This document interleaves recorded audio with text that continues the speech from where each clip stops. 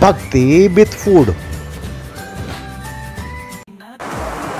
दोस्तों, आप देखना शुरू कर चुके हो भक्ति विथ फ़ूड। आज संडे है और संडे को नाश्ता क्या किया जाए, ये प्रॉब्लम रहती है, क्योंकि बच्चे घर पे रहते हैं।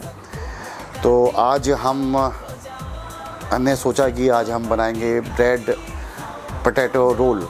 तो वो किस तरीके से बनता है पटेटो विथ रोल, उसकी प्रक्रिया आपको दिखाएँगे। तो देखिएगा आगे।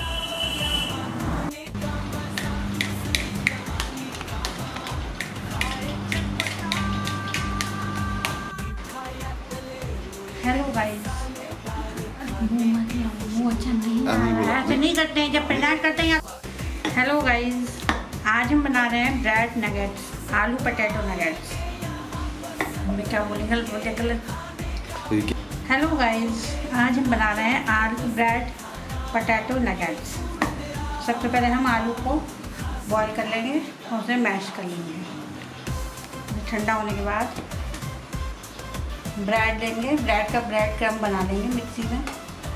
फिर उसमें सूजी डालेंगे, मैदा डालेंगे, और हरा धनिया, हरी मिर्च और बेसिक मसाले डालेंगे। जैसे नमक, स्वाद अनुसार। मिर्च। आमचूर पाउडर और बस इसमें हम आलू डाल के अच्छी तरह मिक्स कर लेंगे।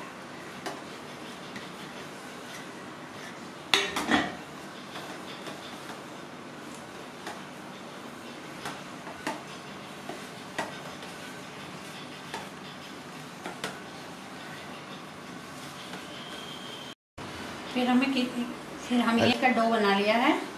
अब हम इसे किसी भी शेप में बना लेंगे। जो शेप आपको अच्छी लगती हो।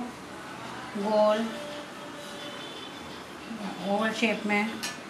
हल्की सी मैदा लगा लेंगे हाथों पे, या हल्का सा ऑयल लगा लेंगे हाथों पे। जिससे ये बहुत ही इजी बन जाएँगे।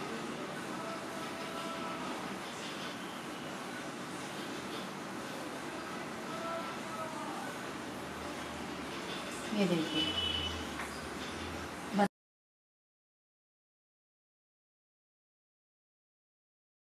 लिए ये अब हमने तल लिए हैं कढ़ाई में डाल के ना गोल्डन ब्राउन होने तक तल लीजिए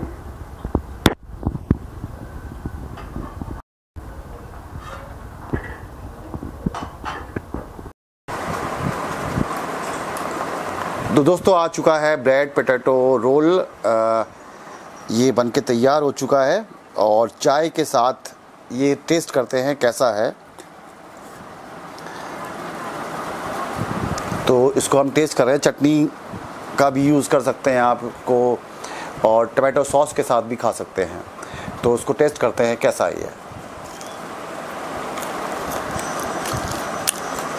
तो थोड़ा क्रंच पन है इसके अंदर क्रंची टाइप का है। और इसको आप बनाएँगे तो शायद बच्चे पसंद करेंगे। और इसको आप जब बच्चे स्कूल जाएँ तो उनके टिफ़िन में भी आप रख सकते हो। तो बच्चे बहुत पसंद करेंगे एक बार घर पे इसको ट्राई ज़रूर करें बनाने के लिए। भक्ति विथ फ़ूड